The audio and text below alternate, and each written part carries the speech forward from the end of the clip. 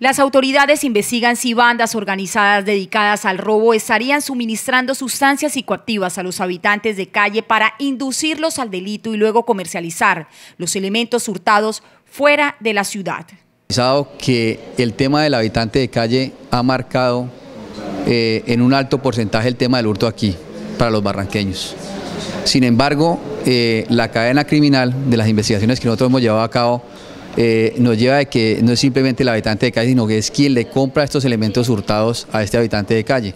Ahí es donde nosotros como Policía Nacional y como y con Policía Judicial estamos apuntando a nosotros no simplemente capturar al, al, que raponea, no simplemente capturar al que roba o a este habitante de calle que está robando, sino verdaderamente llegar nosotros a capturar a las bandas, porque son bandas eh, delincuenciales que están trabajando aquí en lo que tiene que ver en comprar lo robado aquí en Barranca Bermeja ¿Y cómo le están pagando al habitante de calle? Pues no le están pagando ni siquiera con dinero, sino que le están cambiando estas cosas hurtadas por vicio. Se podría tratar de un mercado negro que estaría operando bajo directrices de delincuencia organizada. ¿Podríamos hablar de que aquí se está moviendo un mercado negro con ese tema?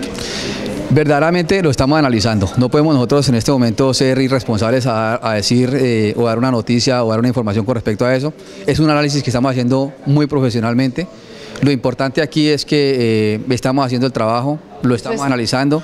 Pero eso está dentro de las posibilidades. las posibilidades, claro, está dentro de las posibilidades y la mayoría de esas cosas hurtadas ni siquiera quedan aquí en Barranca Bermeja, sino que las están sacando para otras partes del país. Esta grave situación que ya está en el ojo de las autoridades ha disparado el hurto en la ciudad.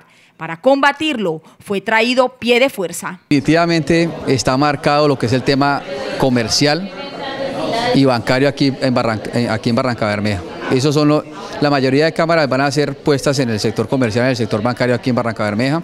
Y tenemos algunos puntos muy, muy marcados como es el barrio La Arenal, como es el primero de mayo, donde verdaderamente también es un estudio. Y ese estudio no lo hemos hecho solo nosotros, Policía y Gobernación, hemos traído también a los presidentes de Junta de Acción Comunal y a los líderes comunitarios de cada uno de estos barrios para que ellos ayuden a darnos información y que verdaderamente la postura de estas cámaras sean objetivas en aquellos puntos que verdaderamente la ciudad lo necesita. Alrededor de 60 uniformados están patrullando el comercio de Barranca Bermeja, punto con mayor registro de robos presentados en lo que va corrido del año.